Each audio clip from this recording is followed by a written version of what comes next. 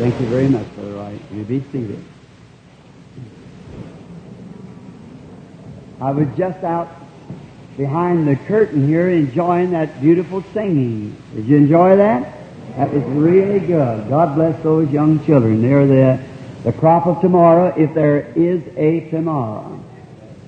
And uh, Brother Rose came and got me a while ago on an emergency at the hospital, and I thought, oh, I'm sure to be late. But I wasn't after all. but um, he told me he would fill in, so I know he's good on doing that. well, we're happy tonight to see the gathering out on this hot night, and we are happy to hear the reports from the last night's meeting. I wonder if there's anybody here that can show or would raise their hand that was prayed for by that new ministry last night can show can know that there's a definite improve in their conditions. Let's see you raise your hand for them that went through went through the prayer line. Good, fine, that's good. All right. Someone told me that the man that was paralyzed in the wheelchair here last night is sitting back there somewhere in the audience tonight without the wheelchair. And uh, we're glad to know that. Where are you, brother? Would you raise up your hand, wherever where you are? The brother that was in the here he is, sitting right here. Thanks be to the Lord. That's, that's fine. That shows what just letting a little faith go to work. Now the new ministry is to curse the disease that's in there. Have you noticed what the Holy Spirit has done? The first thing when He told me was prayer for the sick. Now I complained and said uh, they won't listen to me because I am not educated. And he said, as Moses is giving two signs, you'll be given two. And then he said, the first one, the people just lay their hands on yours and you'll tell them, and they'll even see the reaction, whether it's gone or not. I see that becomes, you have to watch that. That becomes an entertainment.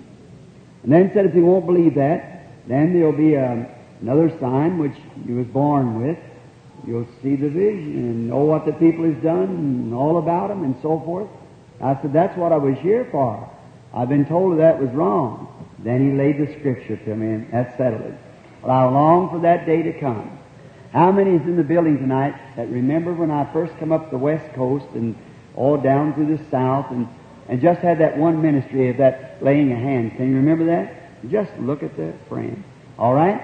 Then did I tell you that the Lord told me that there would be another ministry? You remember that? Which would be the discerning of the thoughts of the heart and so forth. Well, them ministries has worked perfectly the world around. One its day, other lived its day.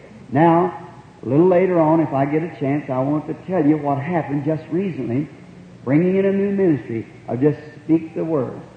And it brings it, puts it right back into the lap of the people again. If they will come with the right attitude and believe, it's just got to happen. How many's read the book? Oh, in the book. All right, there's a few years read my life story in the book when it was a how that he told me that I was born to pray for sick people. Get them to believe you, then be sincere when you pray. Then nothing shall stand before the prayer. Did you ever hear that before? Sure you have.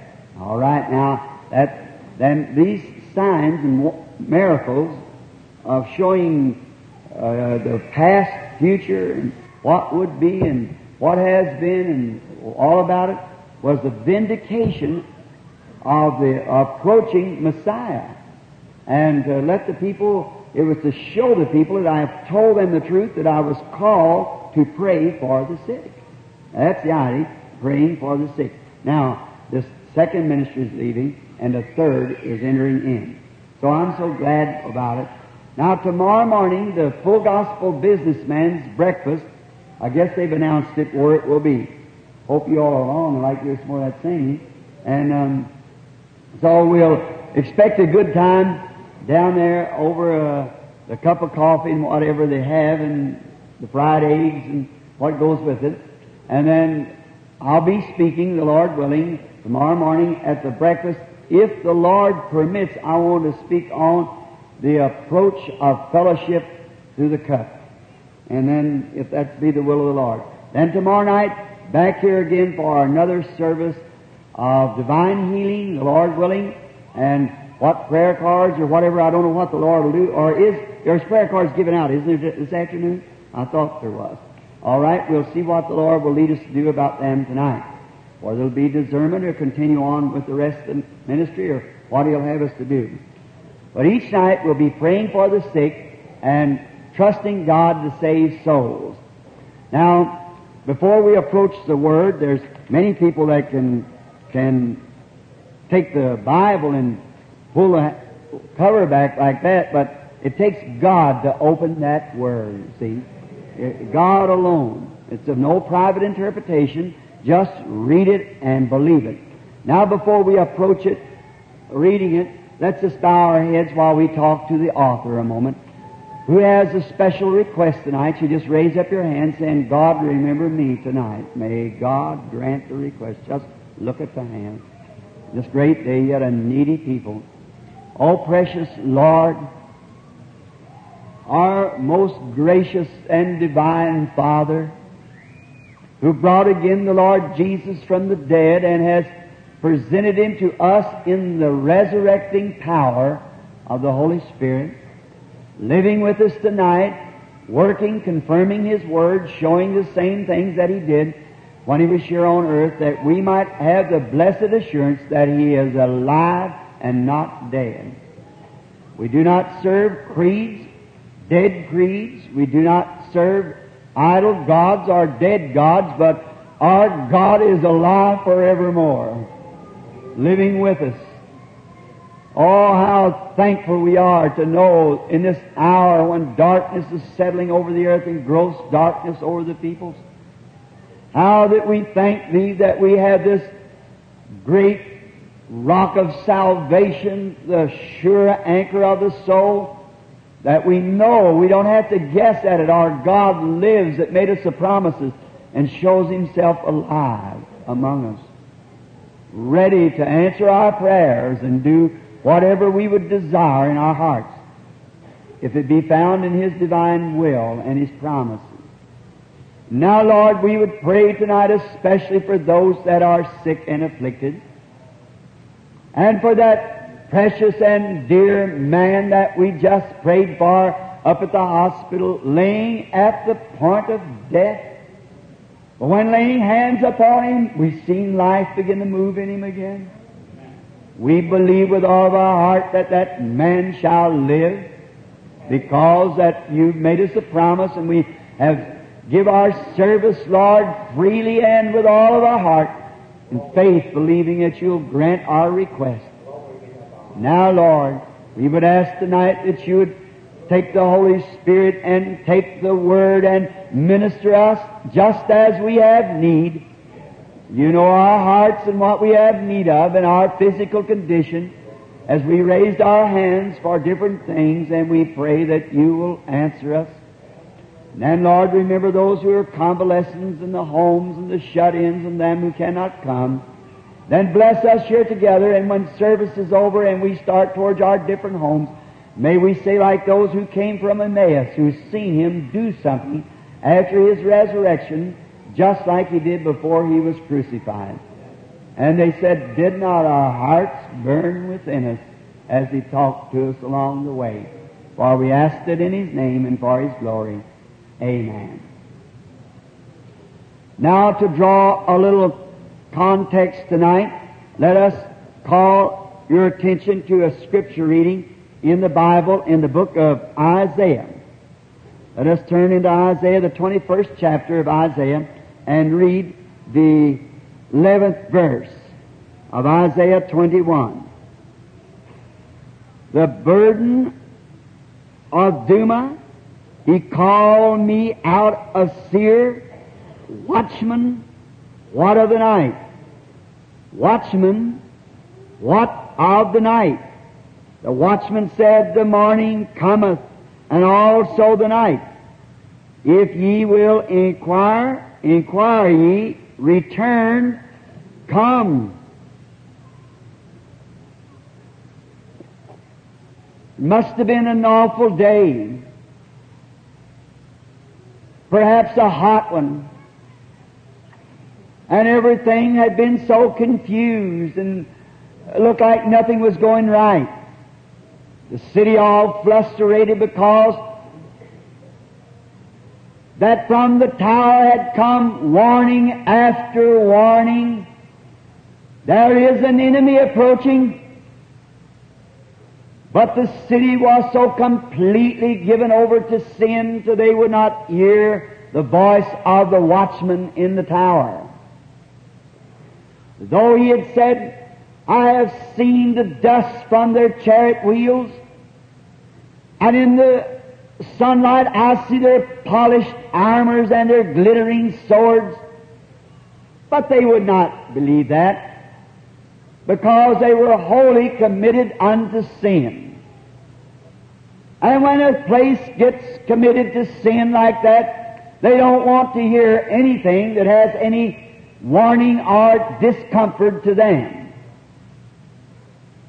But just the same, the voice came, warning after warning, and as the evening began to approach, perhaps the young maidens was meeting out around the public well in the city square to get the evening water, which was customary in those days for the young ladies to go to the well and get the water early in the morning and late of the afternoon, which would be a supply for the day and then a supply for the evening and night for cooking and whatever they had to have it for.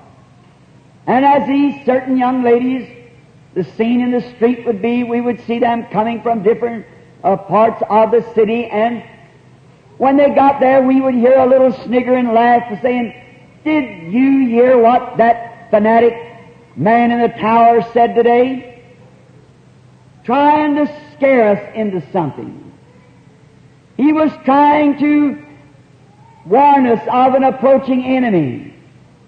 You know, telling us that we must turn to repentance and to sackcloth and ashes. And they would say, now, we are not turning to any sackcloth and ashes, or unto repentance, because we do not believe His message. We believe that tonight we're to have a party and we're to wear our newest style clothes. And do you think that we'll let a fanatic stand and tell us how we must dress and what we must do? I don't care how much he says, how much he warns, I'm going to the party just the same. And as much as I hate to say it, this is a day something like that day. No matter what you tell the people, they're still going to do what they want to do. They're headlong, and they are going to plunge right on regardless of how much you warn of the coming of the enemy or the approaching of the Lord. They will go just the same as they did. They've got their minds made up. Pleasure man, and they're going to do just as they want to do. And if you try to correct them, you're a fanatic. Just the same, the voice still calls out. God will have a watchman in his tower that'll not fail but to call out the warning. There was a young man in the, the uh, taverns, and they would pass the drinks to one another and say, Jim, did you hear today? We have an approaching enemy, making a lot of fun out of it and pass muddy remarks. We know better than that. We've got the best military system there is in this country. And there's no enemy can bother us. Our forts are all guarded in our walls and, and that fanatic up there in the tower, I wish they would get him out of there. You know, it's never popular to tell the truth amongst people who want to live for this present day. They don't want to believe the truth. But the Bible said, You shall know the truth. I'm so glad of that. You shall know the truth. And the truth shall make you free. Now, you can be a prisoner or you can be a a truth rejecting uh, uh, prisoner, or you can know the truth and be free. And as the night begins to approach, then I can see here that when the evening shadows begin to fall and the day's shores was over, then they all gathered at this certain place where they were going to have this ball or party. And that was just about all they were interested in. And that's about all that many people are interested in today. But I'd imagine that watchman got what little group that would believe him and got out of there. I'm so glad tonight that we have got still some real watchmen that's getting a group ready to get out of here one of these days because trouble is coming. Making ready for there is trouble approaching. And loyal watchmen who are watching over the heritage of God's sheep, warning them, make ready for the flight, for there'll be a time when none will escape. You'll never be able to escape hydrogen and oxygen bombs when they strike the nation. There's only one way to escape, that's right out of it. There's only one thing can take you out, that's the power of the resurrection of Jesus Christ. Take us out of it, go up, get out of the hearing of it or the seeing of it. And as maybe the ball got started good and the young ladies begin to dance with the man and and the married women with some other woman's husband and vice versa and the drinks were passed and they were all having a, a good time and then perhaps maybe some modern like Hollywood jokester or television mimic got up and began to crack some kind of jokes about the man in the tower. Did you hear that today? Well, they just say that same thing today. There's no difference. The devil always takes his man, but never the spirit. It lives on another man. God takes his man, but never the spirit. It comes on down living on someone else. So the same spirit still exists today. We're not blind to these things. And it would be good if we would listen to the voice of the one in the tower, the Holy Spirit, that's warning us Flee the wrath that is to come. Make ready because the hour is approaching.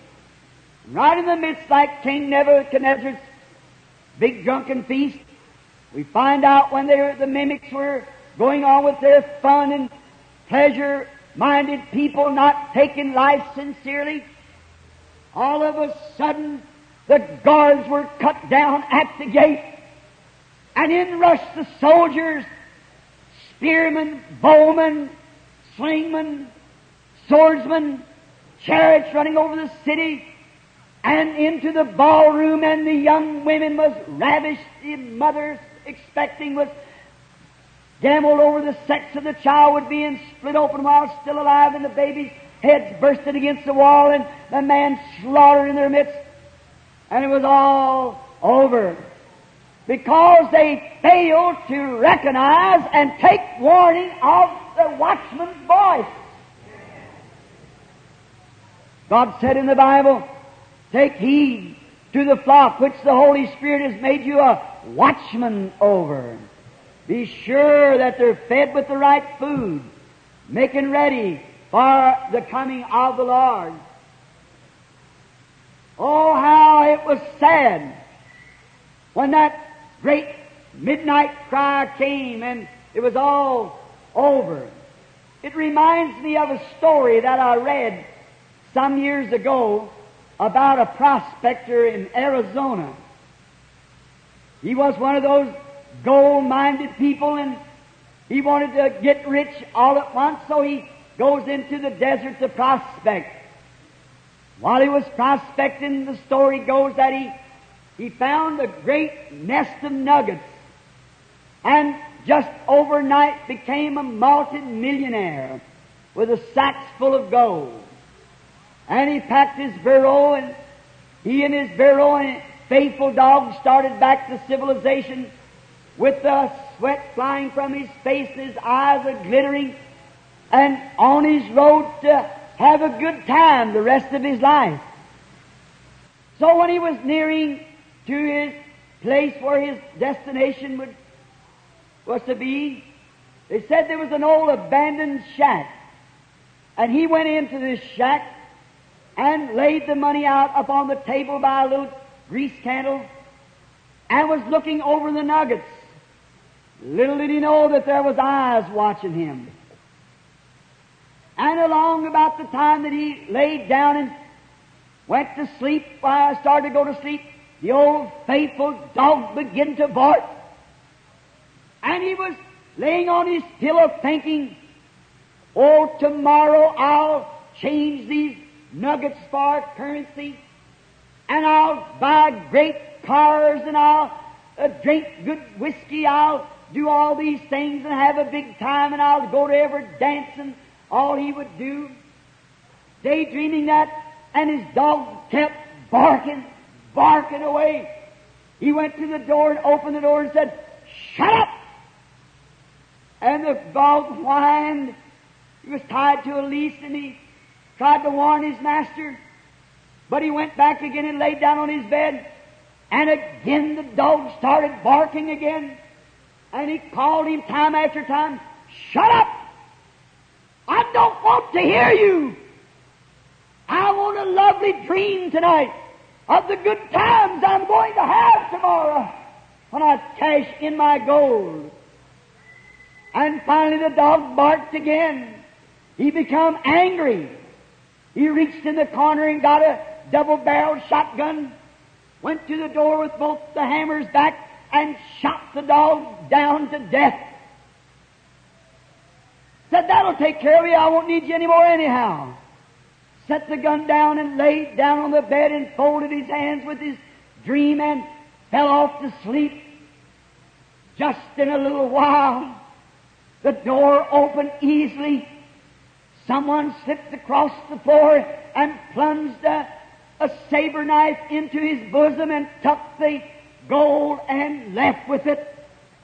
Oh, what did he do? He killed the voice that was warning him. Let that not be our stand.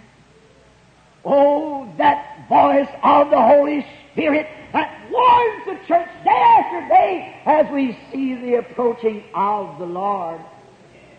Let's not steal that voice by ignoring it and turning it away, but let's take heed to the warning that it gives us. God has watchmen over His heritage. I can remember 1933, August the 16th at 2 o'clock in the afternoon, I mean June the 16th at 2 o'clock in the afternoon. I'd just recently been ordained a missionary Baptist minister and was holding my first revival where 3,000 something people attended. And then that afternoon I was baptizing 500 converts at the, the river's bank at the foot of Spring Street at Jeffersonville, Indiana, where I live. And the newspaper photographers was out and many other church people. There was around seven or eight thousand people on the bank. Now I walked out into the water and they, the choir was singing that great old song of the church. On Jordan's stormy banks I stand and cast a wishful eye to Canaan's fair and happy land where my possession lies. About the 17th or 18th person, the deacons and trustees and leading out into the water was a young fellow by the name of Calvin. All the skies were brassy. The corn was all withered up. We hadn't had rain for three weeks or more. Oh, it was suffering, the crops was. And the sky was like brass. And I took this young fellow and I said to him, Do you believe on the Lord Jesus? And have you accepted Him as your personal Savior? He said, I have, Brother Branham. I said, I seen you at the altar the other night. Now are you sure this young man? He said, I am sure. So then I took him by the hand and turned his face to the bank and announced his name and asked God that He would bless his life. I was just ready to baptize him when I heard something say, Look up! Well, I got scared. I thought somebody on the bank was singing. I just a boy, preacher. I'd never been married yet. My to-be wife was taking pictures on the bank, which is my son Billy's mother. And I heard it again. And up to the third time said, look up. And when I looked up towards the heavens, a place about ten feet square looked like water in the blue skies moving around. And out of that blue water light came a light coming down from heaven. The people began to screaming, many fainted. And the voice said, as John the Baptist was sent forth to warn the people of the first coming of Christ, your ministry will warn them of the second coming. Around the world, and immediately after that, of course, that article went on the Associated Press into Canada and everywhere. And it's come to pass from that revived up come Oral Roberts, all the rest, and a revival has swept around the world and still moving.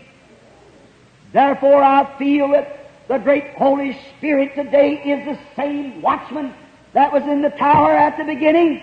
He's still the warning voice speaks, prepare to meet thy God. Every time you see a gray hair, it's a sign you've got to meet God.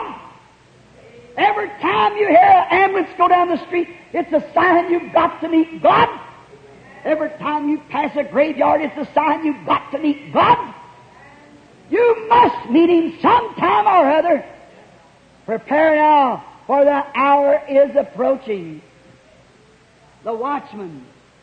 What was the duties of the watchman in the Old Testament? The watchman was a man that went up to a tower on the city, way high. He was higher than all the footmen because it was his position. Now, in order for this man to get up there, he must have a good, clear understanding and he must have good eyes. He must be alert. He must know the stars.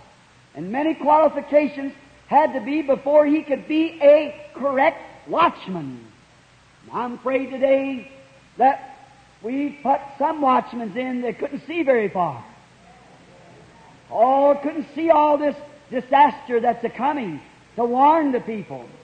Then unqualified a watchman would soon have the city destroyed because the entire city depended on the watchman. God's watchmen, just like his, in the Bible, his prophets was considered eagles. The eagle, how it would, it could climb higher than any other bird. A hawk trying to follow an eagle would just disintegrate in the air. He could never get there because the eagle is a special built bird for that purpose. If he wasn't, when he went up, his feathers would fall out of him. Did you ever try to pull the feathers out of an eagle's wing? Oh, they're great, tough feathers because they bear their young ones on these feathers and they must be way high. And to go, and what good would it do him to go up if he couldn't have sight to see way off? That's what I think today. If we educate our ministers, what good does it do to educate them if they haven't got a spiritual insight to see far off the coming and warning of the danger? It's just like giving your canary bird good vitamins to make good wing feathers and so forth and then keep him in a cage. What good does it do to give him vitamins? What good does it do to learn of a God that was if he isn't the same today? What good does it do to learn the Bible if we're going to deny the power thereof of it? We must be equipped for such. This towerman, he got up, and then if anything happened, he was supposed to warn the people of any approaching danger. We see our Lord Jesus when He was here on earth. He was the great watchman of the hour. And we notice that in His earthly journey, He talked more about His second coming than He did His going away. He said more about His second coming, many times more than He did of His going away, right in the shadows of the cross. He kept talking about his second coming and warning the people what would take place just before his second coming. He was the watchman. He was the chief of the watchmen. And then if we see that was so much to him, just in the shadows of the cross to dismiss that and to speak of his coming, what kind of a people ought we to be now? When we see those things that he spoke of coming to pass. If it was so great that even his crucifixion and his suffering and everything meant so much as it did, but yet his second coming was so much more till he ignored his crucifixion and warned the people of his coming. Let's hear some of the things he said. He said, as it was in the days of Noah, so shall it be in the coming of the Son of Man. He said, for in the days before the flood, they were eating, drinking, marrying, giving in marriage, and knew it not until the day that Noah entered into the ark and the whole world was destroyed. Knew it not. Why didn't they know it? It's because they failed to hear the warning voice of Noah and called him a fanatic because he had a true message of God. It was supernatural. It had never rained. God watered vegetation through the earth. But Noah said, There's coming a rain, and all that's not in this ark will perish. He stood in the door of the ark and proclaimed the message of destruction and was laughed at and scoffed at and made fun of. Today, the true messenger of the covenant stands at the door, which Jesus is the door of salvation and the only door. Claims that He is the only way of escape just before judgment. And the people said there were scoffers in that day. And there'll be scoffers in this day. And how they were pleasure crazed. You see what the world is today. Pleasure crazed. He said there would be the sea would be roaring. Look at it today, tidal waves. Never heard of them before in history. Here they are breaking on the shores and killing people. Earthquakes in divers places. I just don't have the right statistics, but I forget how much that the earthquakes has come to a place for ever so many hours. There's so many earthquakes all over the world. Just coming all the time for the little shell that we live on is becoming thinner and thinner all the time. Man, go right on living, saying there is no such a thing as hell. Look up in the face of God and deny there is such a thing as hell, and setting on a part of it. Boiling volcanic and the earth all out of Cater. Science says the earth out in the sea is becoming more shallow. At the North Pole is becoming deeper because the earth is spreading out. Oh, it's just about ready to be delivered. And people see these things. And he said there would be an unrest in the last days. No peace. Unsettled. Look at the day at every nation scared to death. The radio and television screens are set everywhere uh, of the, uh, I mean radar screens, setting everywhere, watching somewhere for a missile to be let loose. And the first missile lets loose, it's going to be explosion all over everywhere because every nation is ready. The little nations can't be ignored anymore because they got the same thing the big nations got. And it's ungodly man and ungodly nations. And what will happen? What would happen if one would get away by mistake? To start flying and pass through a, one of those radar screens. Brother, they just start pulling levers and missiles would be going. Did you read Tommy Hicks's March of Time? Where he had that picture of all those missiles setting for miles, ready, trained all over the earth. The other nations has got missiles setting, trained all over the earth. And one of these days, something's going to happen. And they'll all let loose the same time. What will happen? The world cannot stand it. Watchman, what of the night? Is the hour today? What of the night? seeing these things come to pass. Oh, how we need today a awakening, a revival of awakening. But we cannot have it because that hour is done lived to pass.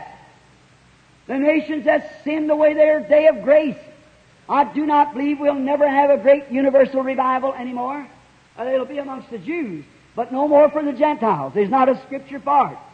And many of the things that you are looking forward to was promised to the Jews after the church has done gone home.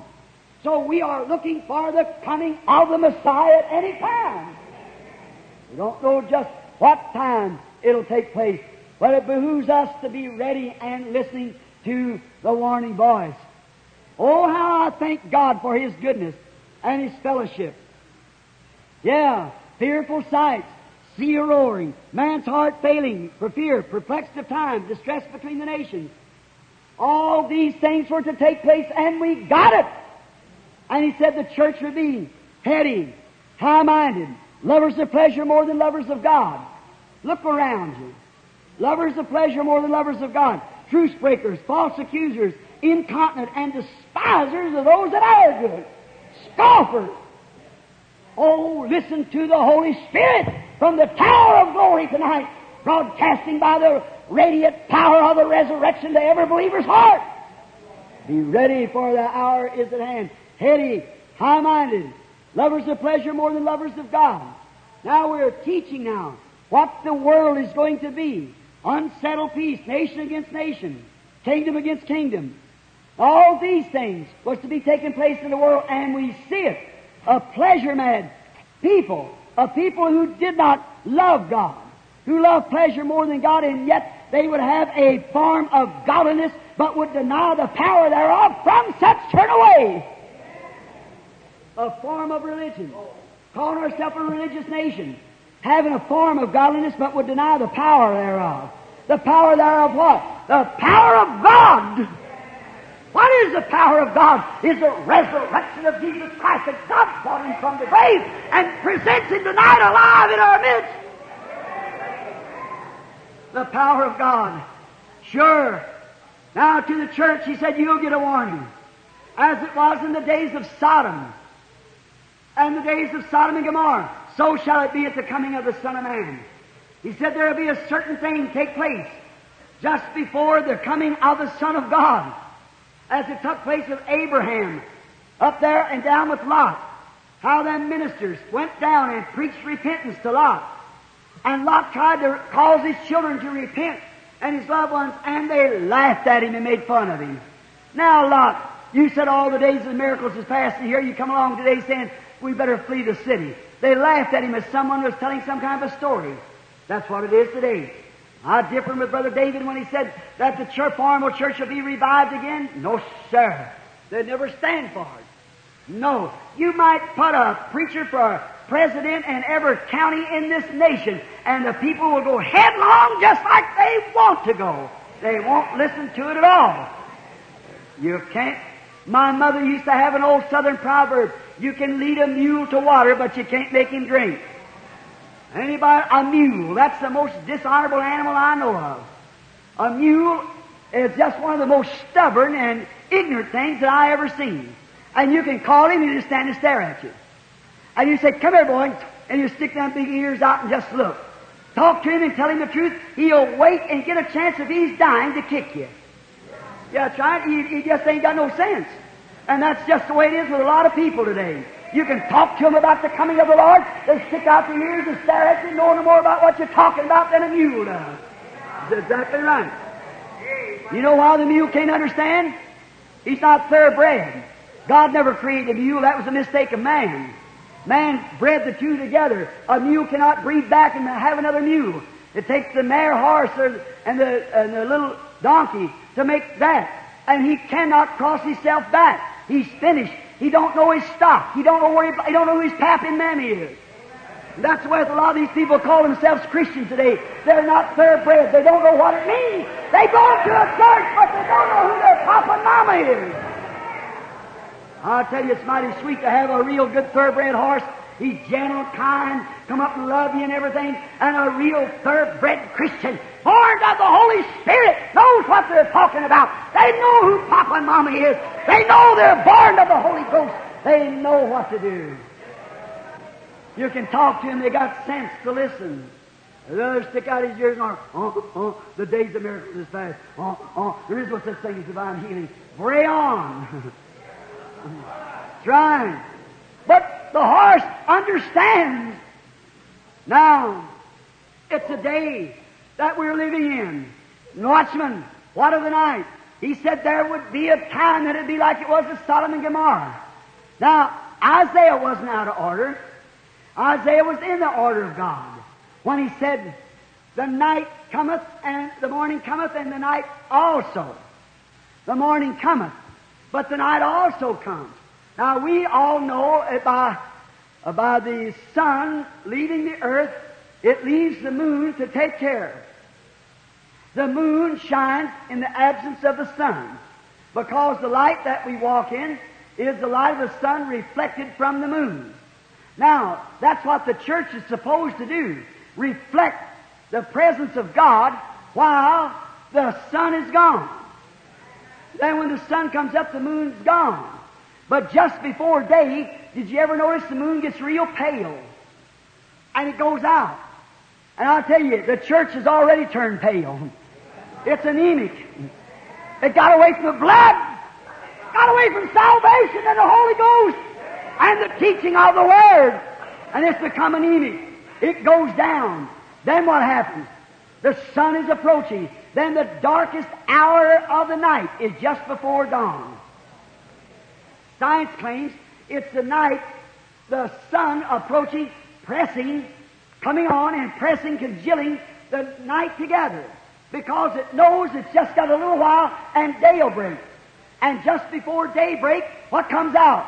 The morning star. What does the morning star mean? He stands alone. He's God's watchman. He stands in a tower alone. The rest of the stars is faded. The moon's gone. And just before the break of day, the sun begins to shine against that morning star, and it reflects the true light of the true sun that's just about ready to shine. What is it? The morning star, the church of the living God today, who's the watchman on the tower, warning the nations and the people. It stands alone.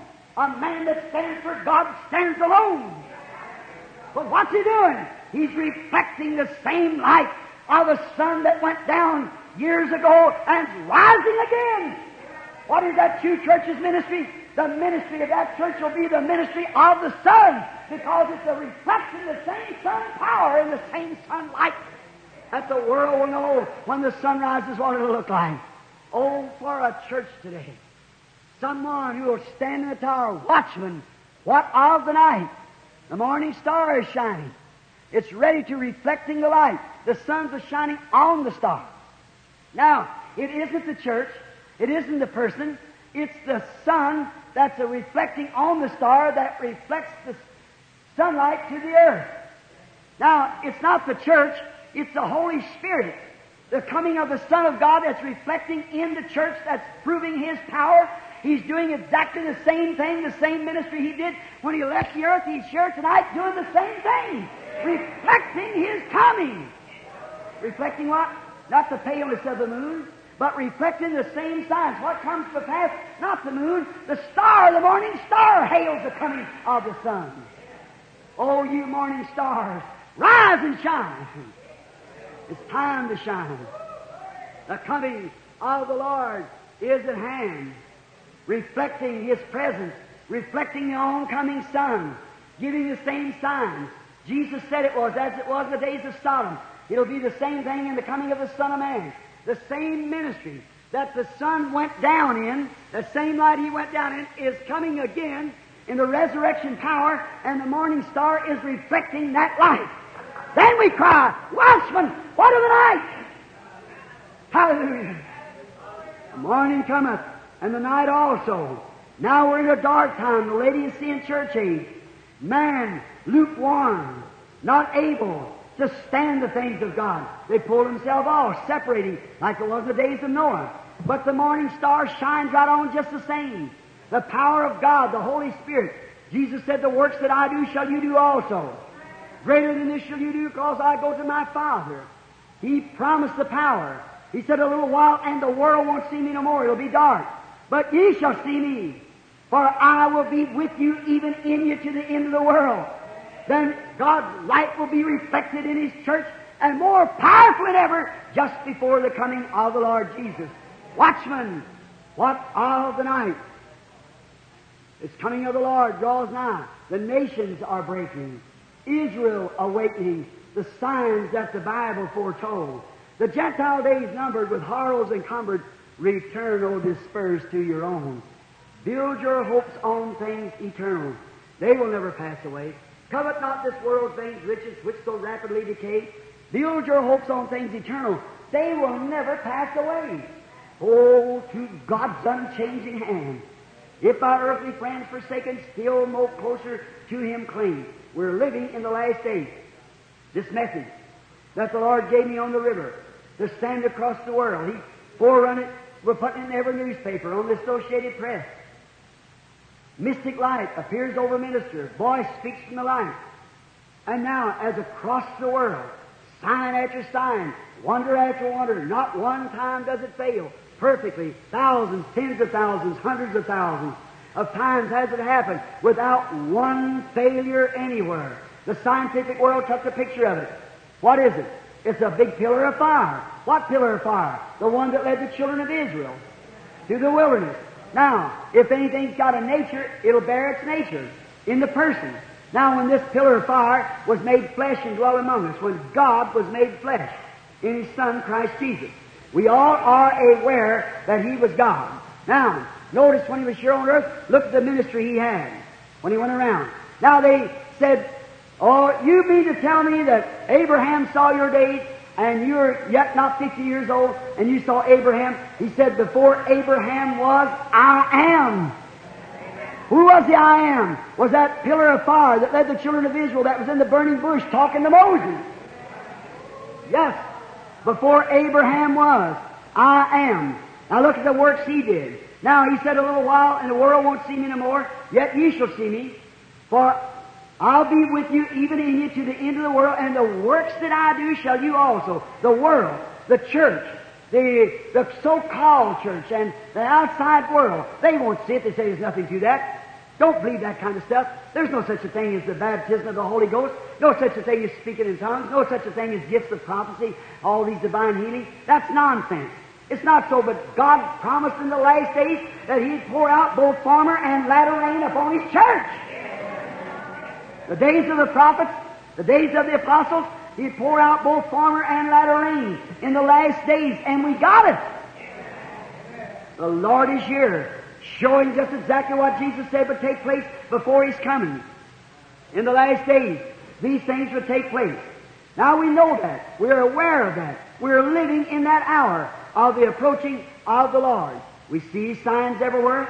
And God, when He came down and was made flesh and dwelt among us, you say, well, after He, he was here on earth, He said, I came from God and I go back to God. How many knows He said that? Sure He did. Said, I come from God and I return to God.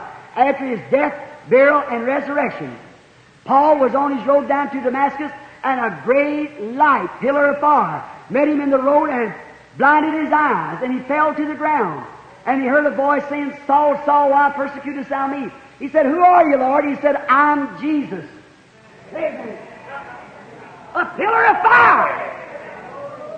And Here today, not because it was taken with me, not because it's even taken on this pulpit once, not because it was taken or not because the scientific world knows it, but the church knows it. That pillar of fire is with the church today. If that's the same pillar of fire, then it'll do the same works that he did when he was here on earth. And when he was here, he said, I do nothing till the, I see the Father doing it first. Is that right? He told Philip where he was at on the fig, the fig tree. He told Peter what his name was. He told the woman at the well of her sins. He told all these different things. The woman touched his garment. He perceived that she had faith and told her her disease had been healed. That same Jesus, that same God, by scientific shows, we've got it, your own picture hanging in the Washington, D.C. in the Religious Hall of Art, the only scientific picture ever taken of a supernatural being. Amen. Where's it at? Amongst the Pentecostal people. What's it doing? Showing the Abraham church. That's this church it's going to. The rest of them won't receive it. What is it? Watchman, what of the night? If that is the same light, it'll produce the same Scripture. It'll produce the same signs. It'll produce the same power. It's the same Jesus Christ, the same yesterday, today, and forever. And we're living it. And we wonder, watchman, what of the night? The Morning star is shining over us. Don't build your hopes on things of this world. Keep your minds off of this. Just say, well, I'll believe I'll turn over a new page and go join church. Don't you do that. You get born again. Don't care what takes place, how many friends you lose, what your neighbor says about it. Why, they're going to say it anyhow. Any man in all that live godly in Christ Jesus shall suffer persecution. So don't pay attention to that. Just go and say, God, give me the Holy Ghost upon your ground. The way you want me to have it. Pour it out upon me. Give me faith. I want faith. I want to believe in divine healing. I want to believe in the power of God. And He'll do it. Some time ago in London, England, I was with a little limey soldier. He was taking me around, showing me the different things, the sights, while we were there on a visit. And then when we went out to certain grounds, I never forget it. In England, the British Isles, just every little piece of ground is taken up nearly with houses. Their population is so great. And I seen a beautiful place. Oh, there's quite a few lots in it. Right down in a nice green grassy place and trees standing around. And I said, Sir, why don't the people build houses here? Oh, he said, uh, Reverend Branham, they would not, no one build a house on that ground. Well, I said, why? Well, he said some 200 years ago, there had a great plague in this country, a black fever, and said people died like flies. Said they hauled them away in wagon loads and come back and get the rest and back, and they didn't even have time to bury them. They just put them down in this valley, had a ceremony, and just covered them up, and went on and on and on. till thousands was put in this valley and buried here. Said they were all covered up, their bodies are all gone, but that fever was so great. He said there's not an Englishman that ever built a house on the grounds where that thing ever was. I thought, yes, you're very careful where you put your little earthly abode here. But when it comes to salvation, you'll build your house on any kind of a little old creed or anything. Why don't, it's dead been dead a long time ago, having a form of godliness and denying the power thereof. Why don't you build your hopes on things eternal? They will never pass away. Build it on Christ, the solid rock I stand. All other grounds is sinking sand. Build up on the lively stone, not something that's dead and been dismissed from God years ago. Build your hope in something now where God's living now. I preached not long ago, I the last time here, upon the return of the Queen of Sheba. How down in that great land where she was at. Well, she said, why, all these gods that we got down here, we hear about them, but none of them's living. They don't do nothing. We hear up in Israel, they've got a God up there that lives right in a man.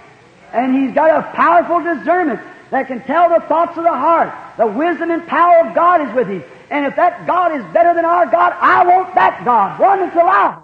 That's the way with me tonight. I want the God that's the living God present here now. Oh, I'm so glad that He is alive forevermore. I see His approaching. I see the time appearing that when He's fixing to come to the earth, I see every sign in the world pointing back yonder that in the world system, nations against nations, how the world is going, how they have a form of godliness. I see the world, I see the nations, I see the church so-called a form of godliness. Then I see the Spirit-filled church with its sign, reflecting the coming of the sun, the morning star putting off its rays. Oh, how happy I am. I'm glad that God has a church that can put off the rays. It's reflection. Let Christ reflect Himself in you. In the old days when they made gold, the beater beat the gold and beat the dross out until he seen his own reflection. Then he knowed all the dross was out of the gold. Sometimes you say, I preach too hard. I tear down people. A man told me not long ago, said, you're going to ruin your ministry by rebuking things the way you do. So let somebody else do that. I said, who's doing it? That's right. Who's going to do it? Right. I, I, I want to.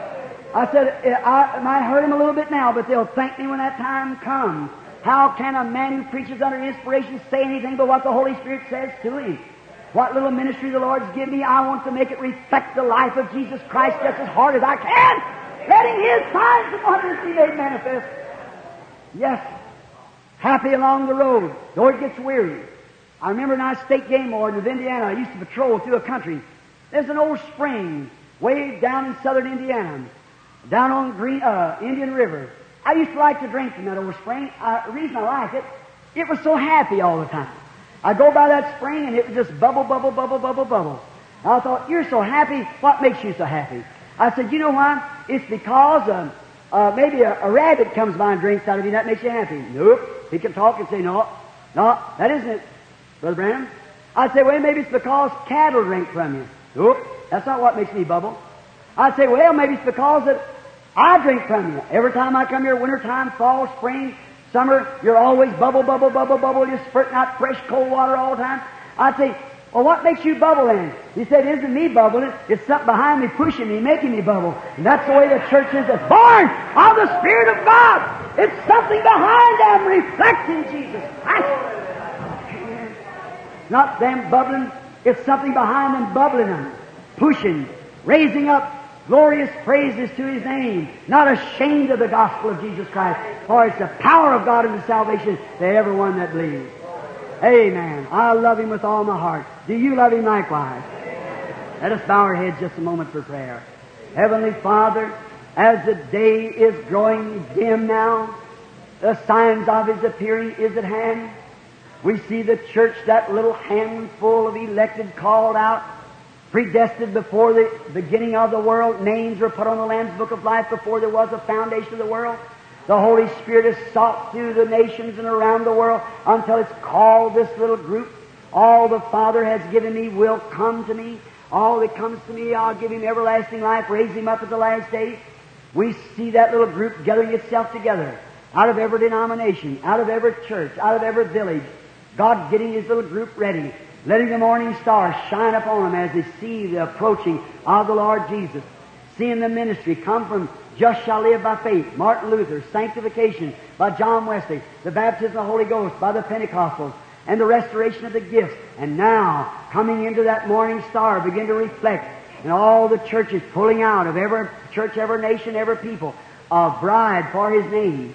Oh God, their hearts are filled with joy. They're happy. They'll sit in hot buildings. They'll walk in cold weather. They'll walk through the rain, sleet, snow, anywhere. For where the carcass is, the eagles will be gathered. My sheep know my voice, and I'm so glad, Lord, to be numbered with them. I'm so happy tonight to know that there is a church. You said there would be a church would uh, be there without spot or wrinkle. Father, oh God, let our names be on that great book up there. May we appear without spot or wrinkle. Cleanse our heart from sin, and that's unbelief, Lord. We realize that sin is unbelief. No matter how we live, if we still disbelieve all the gospel, we're sinners because we're unbelievers. Let all sin be taken from us, Lord. All of unbelief. May the power of God settle in this church tonight. As the morning star, we pray, will come down in the form of the Holy Ghost and will reflect the very ministry of our Lord Jesus Christ. And then they'll see why the watchmen on the wall are crying out, The morning cometh! Hallelujah! The morning cometh! And the night is here also. Oh God, when we see the church cooling off, going after big buildings and fancy things and, and things of the world, having a form of godliness, no power, denying the power, getting away from it. Even the Pentecostal church cooling down, becoming to a place that just the joy is when the music's playing. God, where's the all-night prayer meetings? Where is the great times of love for one another? How, what's happened, Lord? I pray that the morning star will reflect the light so much tonight until every soul here will see the kingdom of God coming in power and know that we're fixed to enter into that. Grant it, Lord. Save the lost. Lord God, if there's any here tonight that belongs to you, may they hear your voice. May they hear it, Lord. It may be a poor excuse that we have to sing the hymn or to preach the word. Our voices are not much, but you have to use man's voice because that was your ordained plan at the beginning to speak. He that receives you receives me, and he that receives me receives him that sent me. God, let it be so tonight that the watchman on the tower climb the ramparts of glory, sitting at the right hand of the Father tonight, making intercessions. May he come tonight in the power of his resurrection. May he come into our midst tonight and do the same thing he did before he was crucified, that this little faithful group of people weighed down here in this sinful world might see the reflection of Jesus Christ manifested in the church. Power and glory and ready for the translation that's soon to come. Grant it, Father, we commit it to you in the name of Jesus Christ, our Son. Amen. Oh, I feel religious. I feel good. You feel good? Oh, there's just something makes me feel good.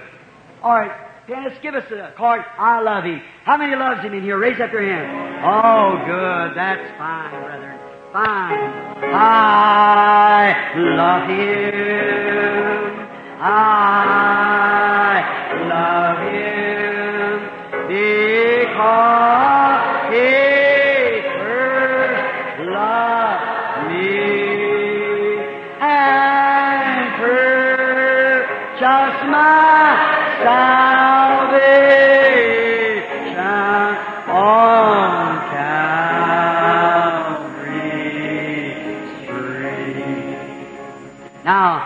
bow our heads just a moment and hum it in the Spirit. Now, Paul said, if I sing, I sing in the Spirit. If I worship, I worship in the Spirit. Now, just let everything be gone. The good Holy Spirit, His Word, scours out our soul. The sharp, rebuking message is over. We have no condemnation. Then let's just raise our hands while we sing. My love. Just worship I love Him. Yes,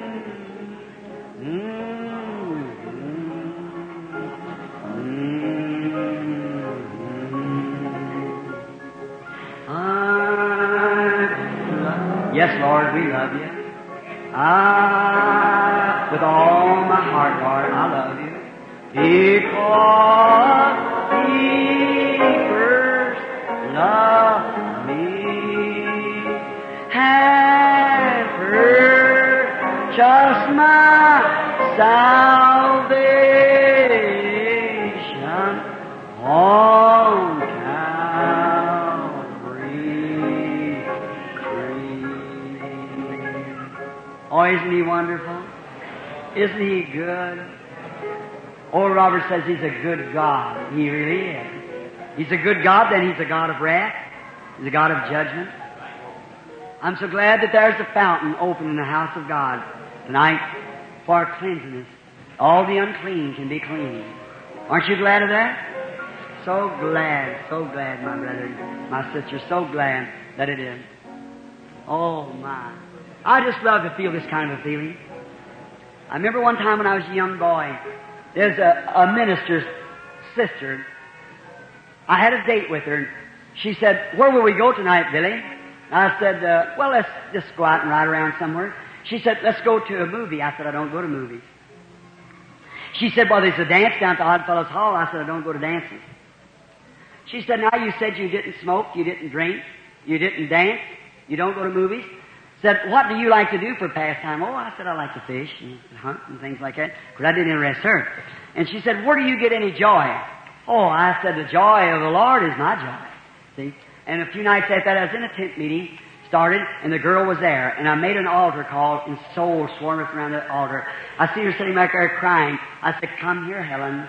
And she came up to where I was. I said, You want to know what joy I have? I said, This is worth more to me than all the movies and all the dances. I said, It's the joy of the Lord, a peace that passes understanding. I know that someday I'll meet these people in glory. They'll all be saved and be over there, and that's the joy I have. She took hold of my hand. She said, Billy, let me have that joy too. I said, just take your place right here. No matter what Ellsworth says, stand right here. And there with bracelets on her hands and rings and things, raise her hands in the air and begin screaming and shouting and praising God. God saved her and sanctified her that night. And oh, I know her brother come to me and was just bawling me out about it. Said, you made a fanatic out of my sister. And she come walking up. We're standing on the street corner. She got out of the car and come walking up there. She said, I believe it the way Billy preaches it. Amen. That old-fashioned gospel. She said, I've got a peace in here I never had before. And I've been a church member since the cradle roll. See, oh, it does something to you when you really get saved. Really get something in your heart. Oh, that little song the Pentecostal people used to sing.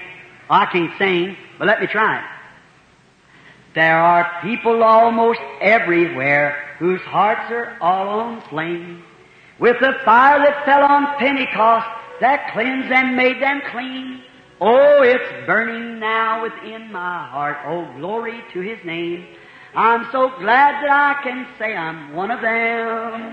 I'm one of them. One of them. I'm so glad that I can say I'm one of them. Hallelujah. One of them. One of them. I'm so glad that I can say I'm one of them. Though these people may not learn to be or boast of worldly fame, they have all received their Pentecost through faith in Jesus' name and are telling now both far and wide His power is yet the same. I'm so glad that I can say I'm one of them. I'm one of them. One of them. I'm, I can say I'm one of them. Hallelujah. One of them. One of them. I'm so glad that I can say one of them. Come, my brothers, seek this blessing that will cleanse your heart from sin, that will start the joy bells ringing, and will keep your soul on flame. Oh, it's burning now within my heart. Oh, glory to His name. I'm so glad that I can say one of them. All together. One of them. One of them. I'm I can say I'm one of them. Hallelujah, one of them. One of them. I'm so glad that I can say one of them. Aren't you happy about it? I'm so glad that I'm one of them. Now just shake hands with somebody sitting next to you say, I'm one of them. Just turn around, shake hands, say, I'm one of them. Oh, one of them. One of them. I'm so glad that I can say one of them. Hallelujah, one of them. One of them.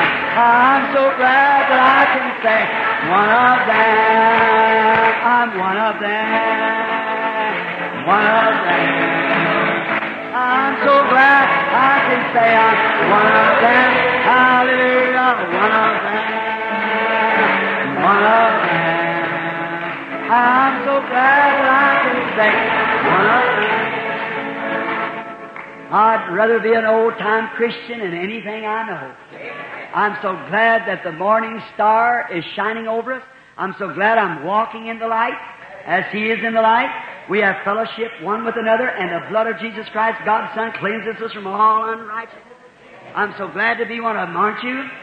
Looking for the coming of that glad millennium day when our blessed Lord shall come and catch His waiting bride away.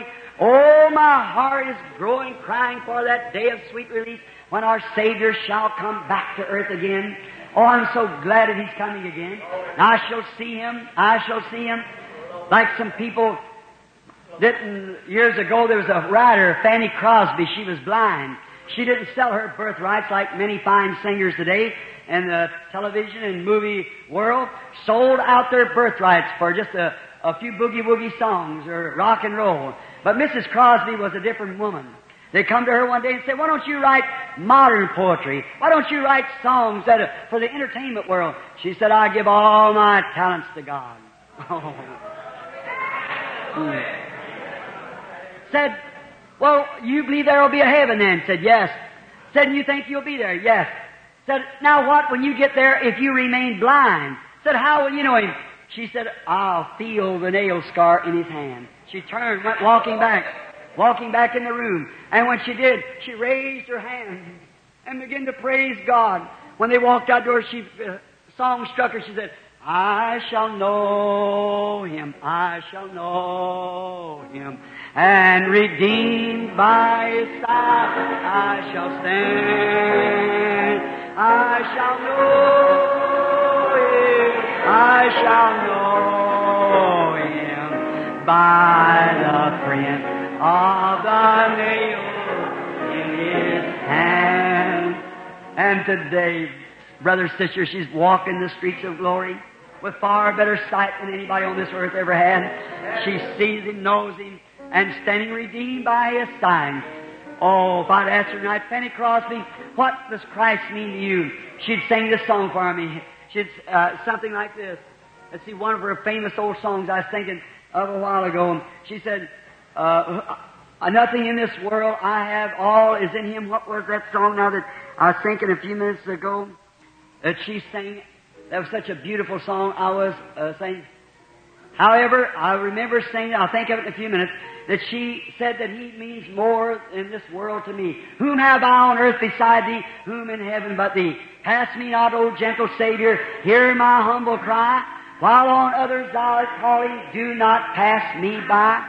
Thou, the stream of all my comfort, more than life to me. Whom on earth have I beside thee, or whom in heaven but thee? I'm so glad if that could mean that to a blind woman. What could it mean to you and I, who can work and labor and serve the Lord Jesus in the way that we do? God bless you. Now,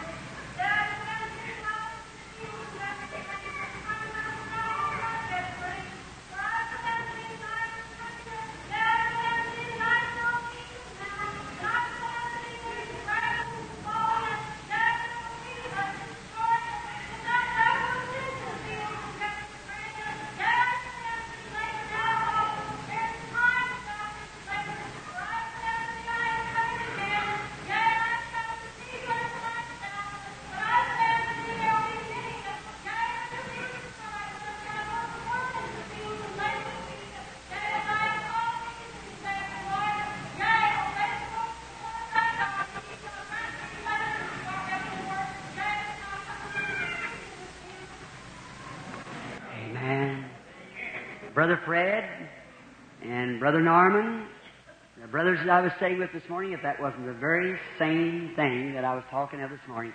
I said America's harvest, when I started years ago to, on the harvest with the gifts and so forth, it's went over, it's culmination. the harvest is already reaped in.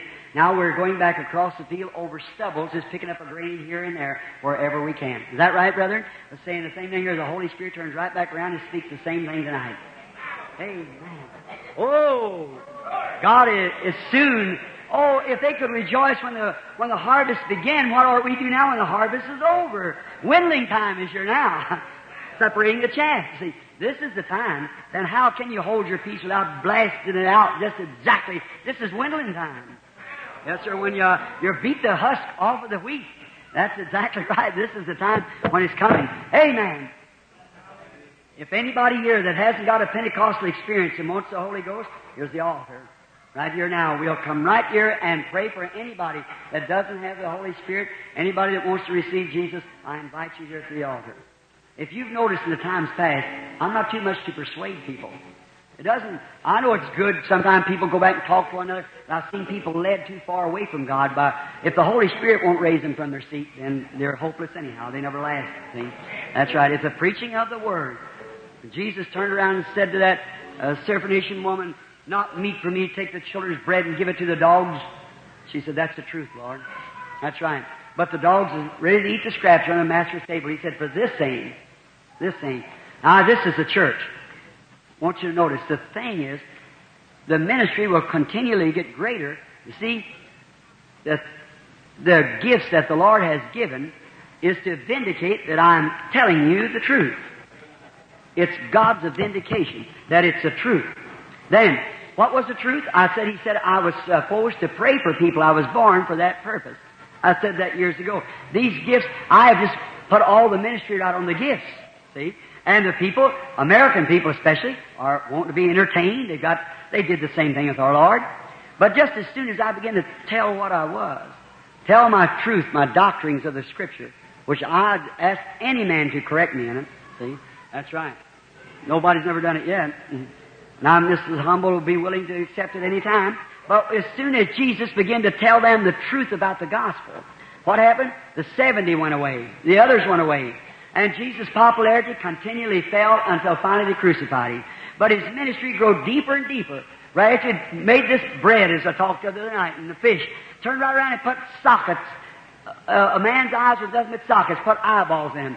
Now there was a crowd followed just for the fishes and loaves and say, we'll see what he does tomorrow. But their hearts were far away.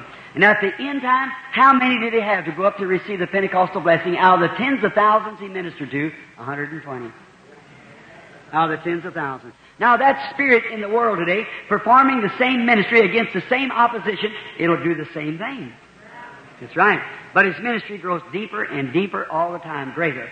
Now, now if there's no one ready to come, maybe after the prayer service for the sick you'll come. Now we got, where's Billy? Um, how many? Huh? One to hundred? One to fifty. And what's the letter? A. A one to fifty. What we had the other night? I believe we began with 50 the other night, didn't we? 50? Well, let's stay, start somewhere else. We took all them up then. That's, I think we've taken a few at one time, a few another night, till we got them out. Now let's begin somewhere between 1 and 50 tonight. Let's begin at 25. Start, that's the middle of them, and we can divide it up the same way. All right? Let's start from, well, the reason I do this, maybe the Lord will give us a line of discernment. Let's see what happens. Now, who has prayer card? What was it? A? A? 25. A25. That man there? All right, come over here. A26. 27, 28, 29, 30. Let's see, that's 1, 2, 3, 4. All right, 31, 32, 33, 34, 35, 36, 37, 38, 39, 40. All right?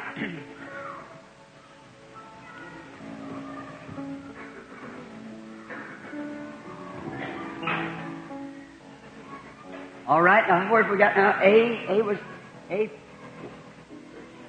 30 to 40. All right, 40 to 50. Let them stand. A, 40 to 50. That's uh, 41, 42, 43, 44, 45, 46, 47, 48, 49, 50. Let them stand.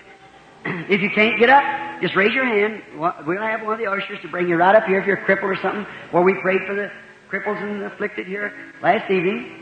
So glad to see you back there without your wheelchair tonight, brother. I heard you got up and walked out last night pushing that old wheelchair. God bless you. That's fine. A veteran, I believe, from the war and, and how God blessed him put His power and Spirit upon him. He walked under the power of the Holy Ghost, crippled, paralyzed, and God done great things for him. Now, let's see, was it 1 to 50, he said, and we got up to 50. All right. Now, how many in here does not have a prayer card and you want God to heal you? Raise your hand. It's not going to be up here in a prayer line. Just, all right? You look this way and believe with all your heart. Remember, He's still the high priest that can be touched by the feeling of our infirmities. Is that right? Well, if you touch him, how would you know you touch him? You'd have to act the same as he did. All right?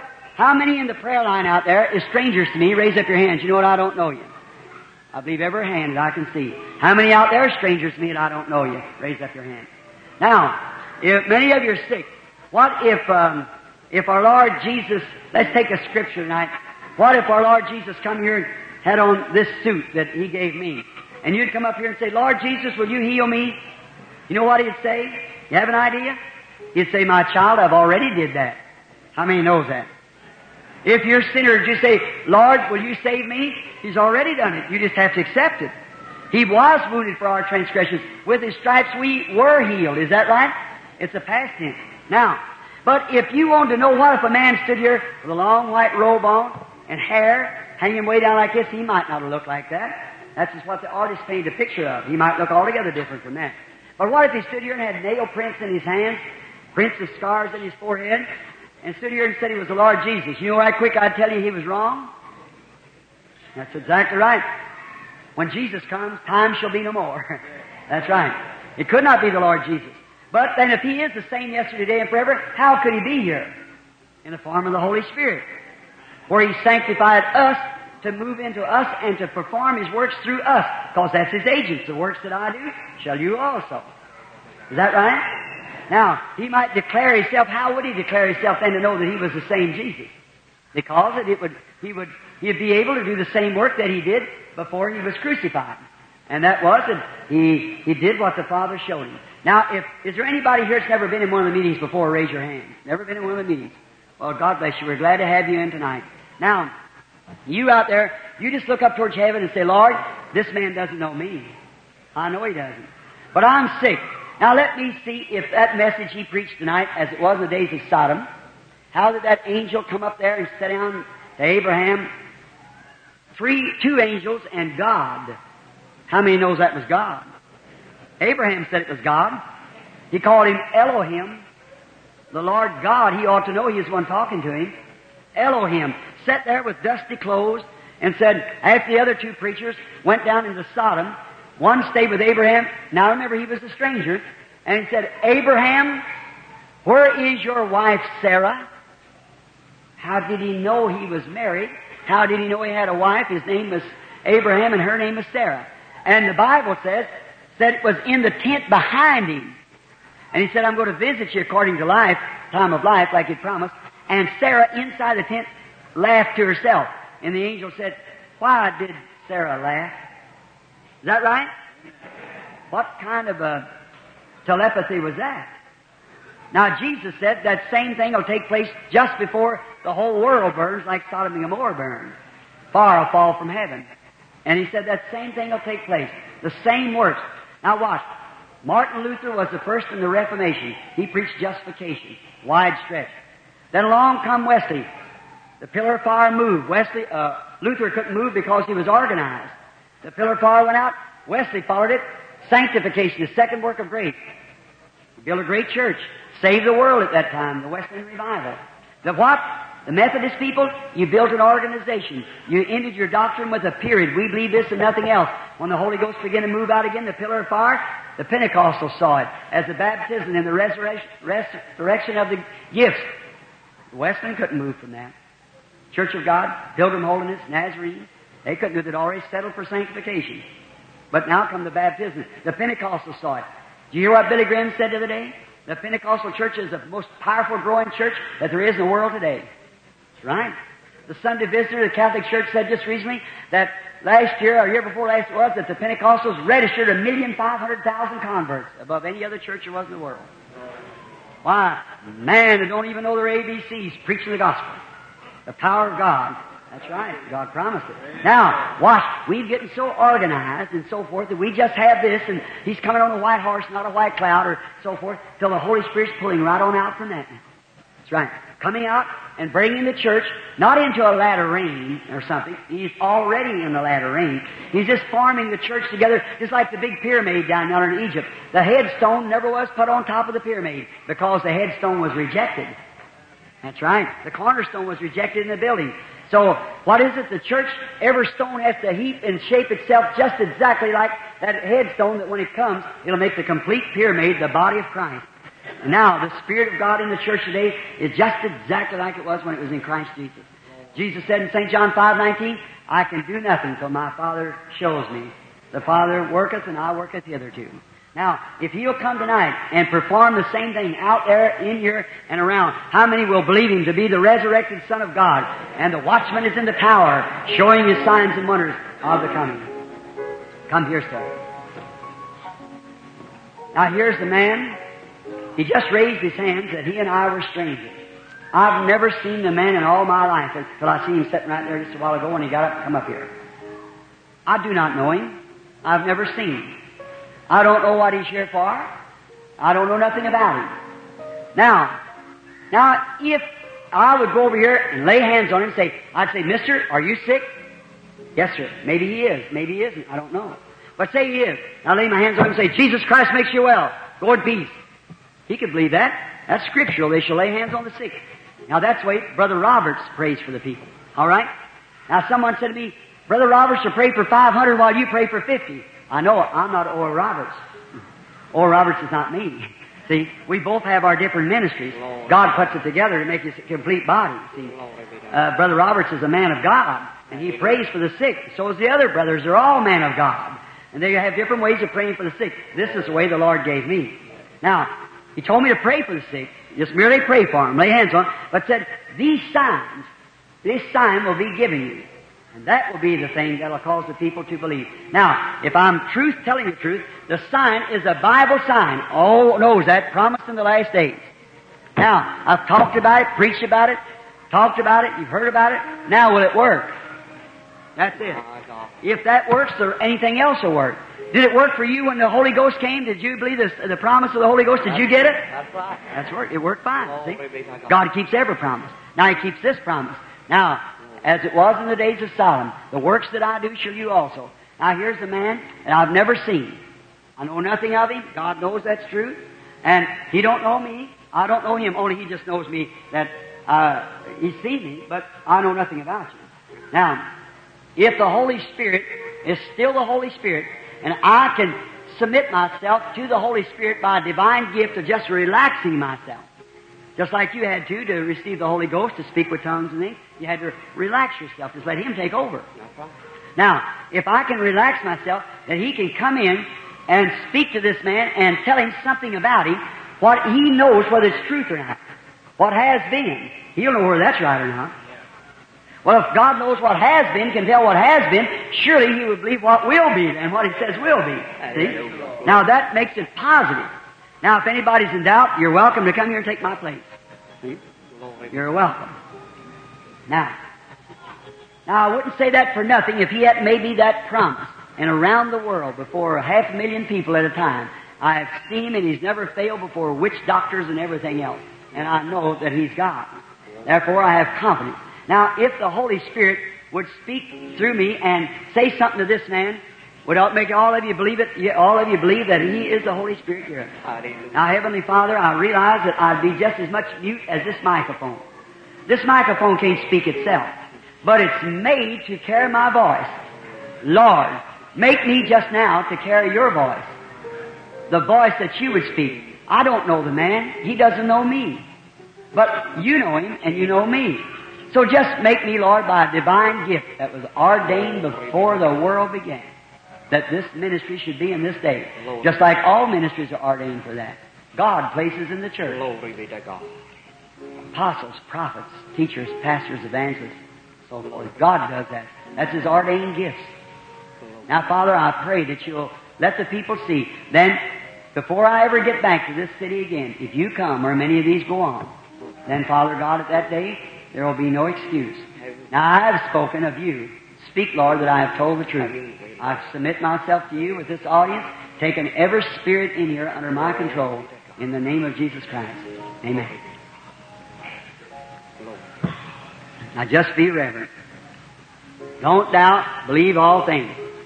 Now, just a word, because I've been preaching, wasn't aiming to do it this way. I was just going to pray for the sick. But when I seen a bunch of people that hadn't been in the meetings before, I thought it would be a good thing if I did it. I'm talking to you just like our Lord talked to the woman at the well. Amen. The father sent him up there. He knew he went up there, but he didn't know what to do. The woman come out, so he began to talk to her. Then when he contacted her spirit, he saw what her trouble was. Now, if the Lord Jesus is here, my spirit don't know you. I don't know you. I've never seen you. But if the Lord Jesus does know you, and if His Spirit can contact you and then use me to talk, He can say the same thing like He did to that woman there, or what it is.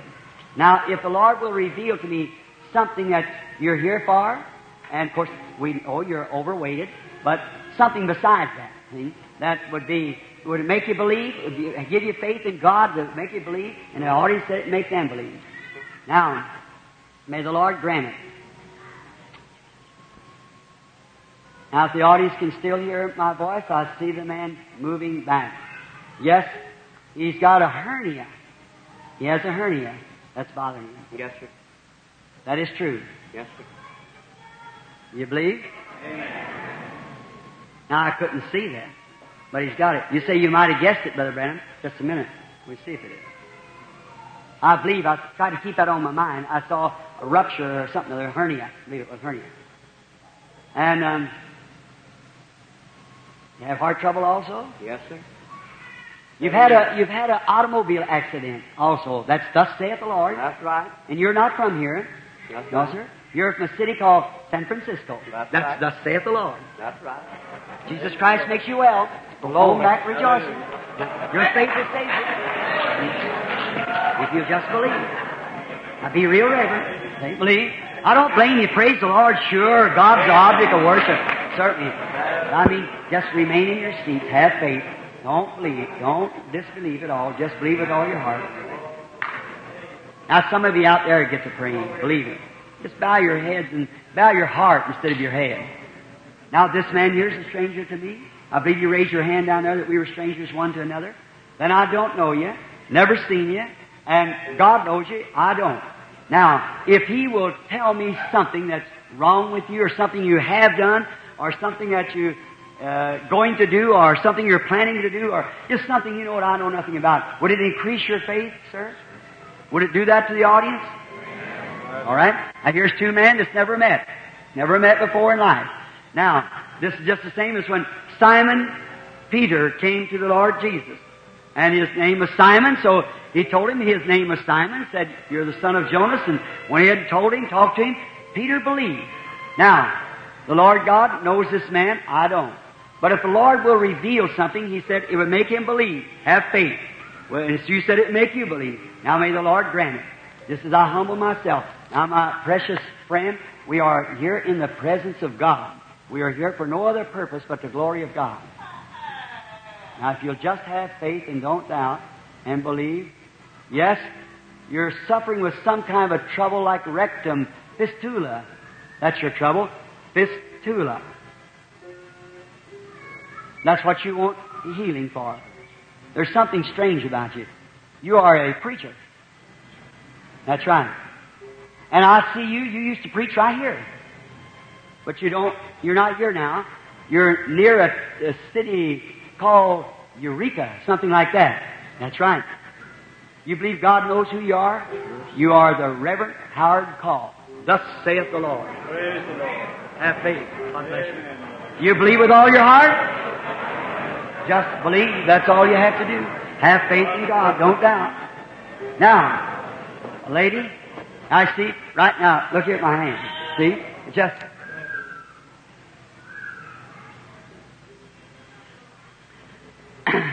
Lady sitting there suffering with sinus trouble, bothered, praying also for a sister. And that sister is in a state hospital. But you touched the hem of his garment then. What did you touch, lady? His garment, the high priest. Now those things are true. Now if it is, raise up your hand if you want to accept it. All right, God bless you. There you are. See, woman sitting there not even in a prayer line. What did she do? She touched the hem of the high priest's garment. That does it. Have faith in God now. Just sit and pray like she was. Now, you are a stranger to me. I do not know you. I have um, no way of knowing you. We're just two people that's met here on earth, a man and a woman, like just like it was in the days of our Lord when that little well they met the woman at Samaria. Now, if the Lord will reveal to me something that you know I know nothing about, then it'll make you believe, will it? Yes, All right. May the Lord grant it. Now you're a real weak from some reason. You've had an operation. And that operation was a cancerous condition. That was on the thyroid. That's thus saith the Lord. Now believe with all your heart. Satan, I condemn this condition of my sister. Come out of her in the name of Jesus Christ. Go and be well. It's all over. Go and praise God. How do you do, young lady? I do not know you. I'm a stranger to you, but God knows both of us. Now, just a minute. Somebody, somebody in the building. There's another woman standing here then. See? Now, be real reverent. Oh, isn't it wonderful to be in His presence? You, friends, can you wake up to realize the fact that the Word of God's made manifest? Yes. I have faith that somebody here. Now, to you again. Uh, if I could help you anyway, I would do it. But I can't help you only if Jesus is standing here, He couldn't help you. You'd have to have faith in His, what He's already done, because the whole plan of salvation, every redemptive blessing was completed in Calvary when He died. Do you believe that? Yeah. You are a Christian. I can feel your spirit that you're a Christian. But you're not standing here for yourself. It's for somebody else. That's your husband. He's not here. He's sick at home. He's bothered with something that's crippling him. It's arthritis. He has a skin disease. The man used to be a Christian. He's backslid now. You have a daughter here with you. She's got uh, kidney trouble. And, and you've got domestic trouble in your homes. That's thus saith the Lord. That's the truth, isn't it? You believe with all your heart these things will be corrected? That in the name of Jesus Christ, go and receive it. Amen. I challenge you to believe it to be the truth.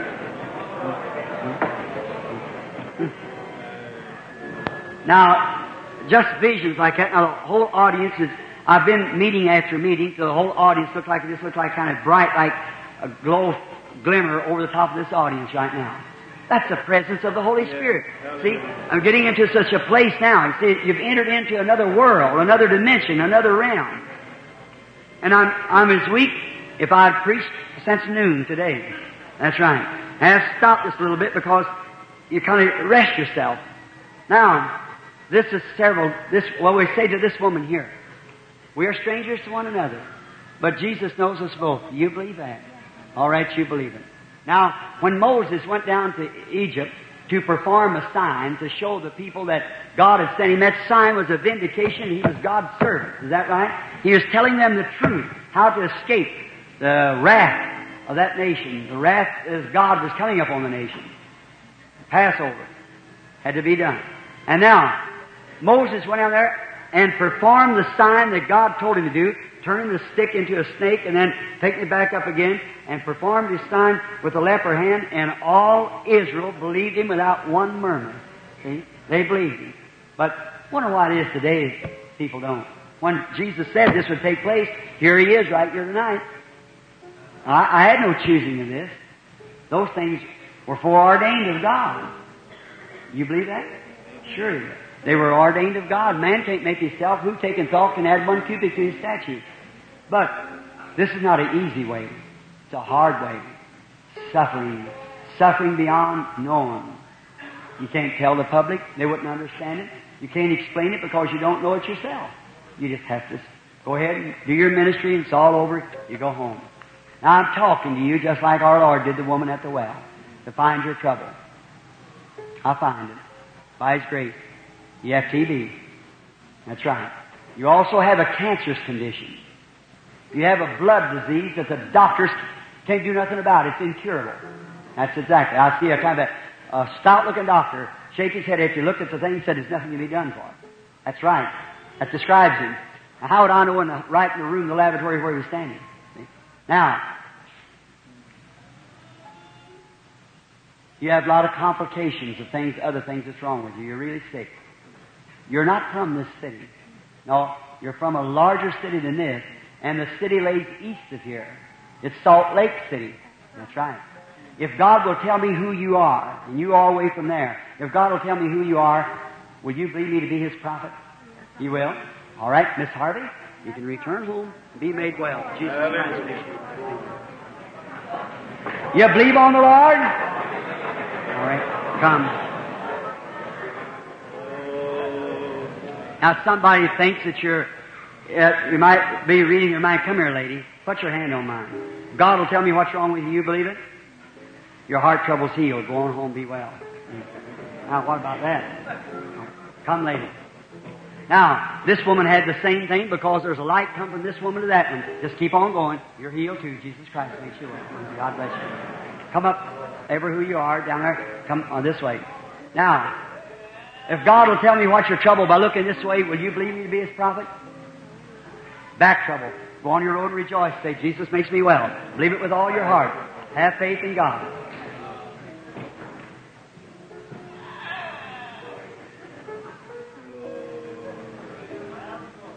Now, when you get up in the morning, you're real stiff too. Arthritis is what you want prayer for. Now, if you'll believe on the Lord with all your heart, tomorrow night you can run up that step. Go believe now. Run up the step. Believe with all your heart. That's got to be you to believe. All right, come, sister. You believe God can let me look at you out there and tell what's wrong with this woman? Well, would you believe with all your heart, sister, too? You would?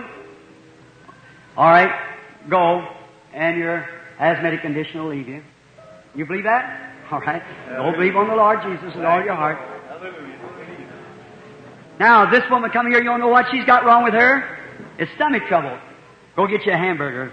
God heals you, makes you well. Have faith.